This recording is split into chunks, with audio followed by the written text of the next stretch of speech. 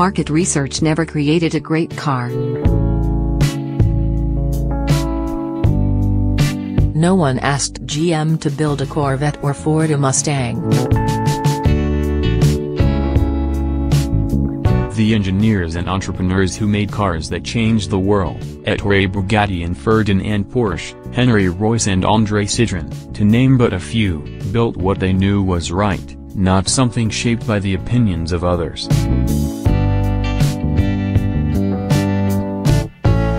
So what, then, are we to make of the 2019 Ferrari Portofino, the most market-researched Ferrari in history?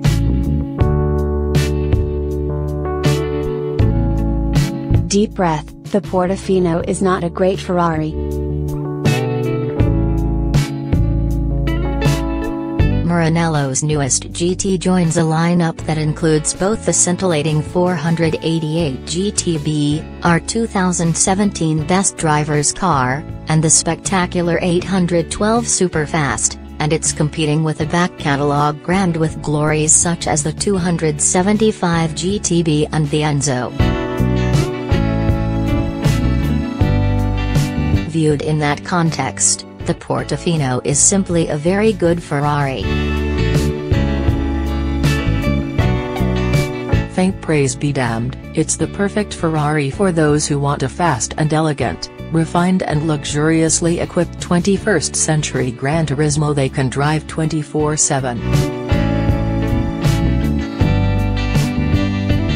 The Portofino replaces the California, the best-selling Ferrari in history and a car that has transformed the iconic Italian sports car builders' customer base. Roughly 70% of Californias are owned by people who had never owned a Ferrari before, says Ferrari marketing chief Nicola Boari. It is, he grins, one of those rare moments where a marketing target became reality. Hardcore Ferraristi may have sniffed at the California's softish road manners and slightly frumpy styling, but newcomers to the brand liked its snappy acceleration, its snarling exhaust, its convertible hardtop, and that it was the least expensive means of getting behind the wheel of a new car carrying the fabled prancing horse badge. Boari says 85% of California owners use their cars on a daily basis, a 150% increase over the typical usage of a Ferrari sports model. The rear seats are occupied 30% of the time. Sharing its basic architecture and much of its componentry with the California, the 2019 Portofino has therefore been carefully designed to build on that car's strengths and address its weaknesses. It's lighter, quicker, and sharper to drive, but Ferrari understands that shaving a few more tenths off the 0 to 60 time isn't as meaningful to this car's customer base as is the increase in the highway cruising range to 460 miles, the 2 extra inches of rear seat legroom, and the fact the retractable hardtop can now be raised and lowered at speeds of up to 25 miles per hour. The Portofino's 105.1-inch wheelbase is identical to that of the California, but its redesigned bodywork is 0.6 inch longer overall, 1.2 inches wider, and 0.1 inch lower with the roof up.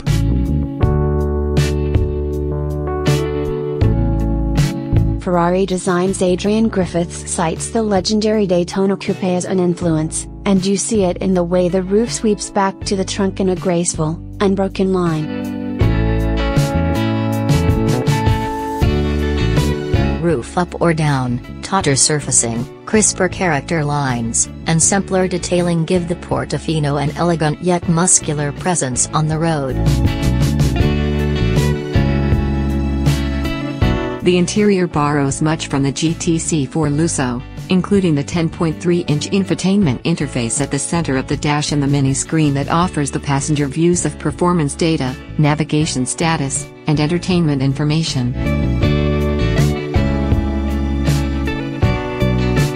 Combining leather, carbon fiber, and aluminum finishes, it looks and feels plush, albeit with techie overtones. Despite the claimed increase in legroom, the rear seats are still only suitable for carrying very small children very short distances, however. As part of its evolution from California T to Portofino, the platform has been heavily reworked to lower mass and improve stiffness. Overall weight has been reduced 10%, torsional rigidity is up 35%, and there has been a 50% increase in the rigidity of the suspension mounting points, allowing engineers to equip the Portofino with a more precisely controlled suspension. Front and rear springs are therefore 15.5 and 19.0% stiffer, respectively, and the latest iteration of MagneRide dampers better control body motions and reduce roll. At the rear is Ferrari's third generation e-diff, up front is electronic power steering, with a ratio 7% sharper than the California's.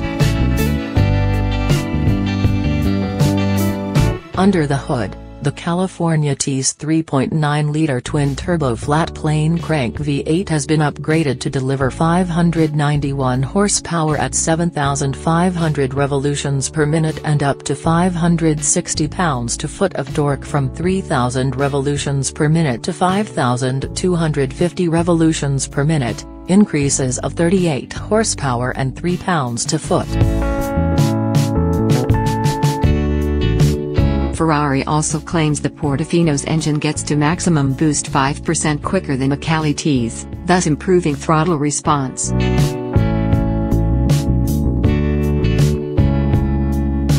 Engine components include a single-piece cast exhaust manifold slash integrated turbo housing designed to eliminate internal flanges that interfere with the exhaust pressure waves hitting the turbine, a new free-flow exhaust system, and new pistons and con rods capable of handling 10% higher cylinder pressures.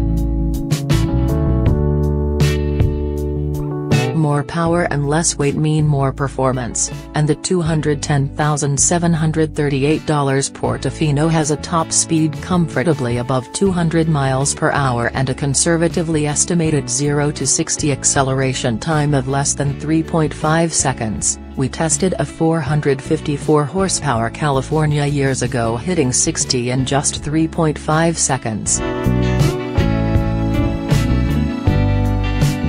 That makes this Ferrari Gran Turismo quicker than a Mercedes-AMG SL65 Roadster, the new Aston Martin DB11 V8 Volante, and the forthcoming convertible version of the Bentley Continental GT, all of which also boast price tags north of $200,000. The Portofino is a mature Ferrari, not a soft one.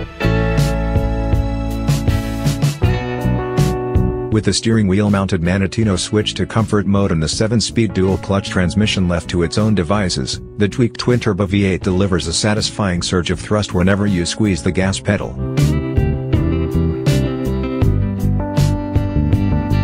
The transmission adroitly exploits the meaty mid-range torque quickly selecting the highest gear possible to reduce fuel consumption and noise.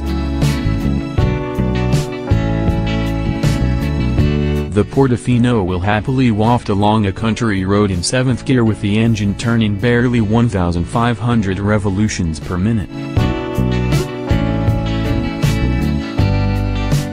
twist the Manettino to sport mode, one stop farther turns off the stability control. As befits this car's intended function, there is no race mode, press the D button once to switch the transmission to manual, and the Portofino stiffens its sinews and sharpens its responses. Even with the suspension in sport mode, the ride remains relatively composed, however, Despite rolling on low-profile, high-performance tires, impact harshness and wheel patter are impressively suppressed on gnarly roads. Body rigidity is excellent, with no rattles or squeaks, even with the roof up, and few shimmies back through the steering column or floor.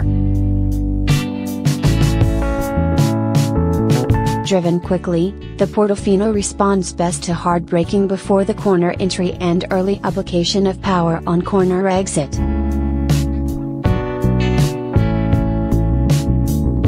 The steering is light and accurate, but although there's plenty of the grip, you don't get much sense of what's actually happening where the front tires meet the tarmac.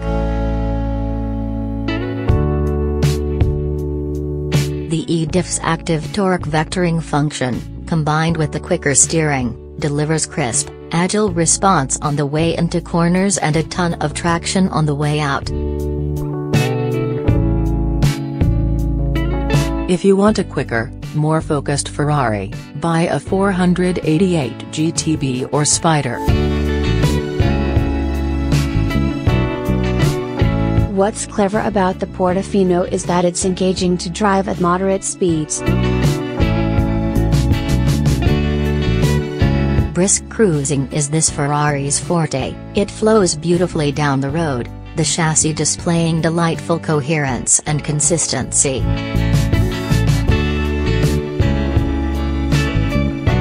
Roof up, it's a comfortable long distance tour and practical daily driver. Roof down, on a sunny day on a winding road, it's a fun to drive sports car. And that duality of purpose is exactly what the Portofino's customers want from their Ferrari. Performance of intended function?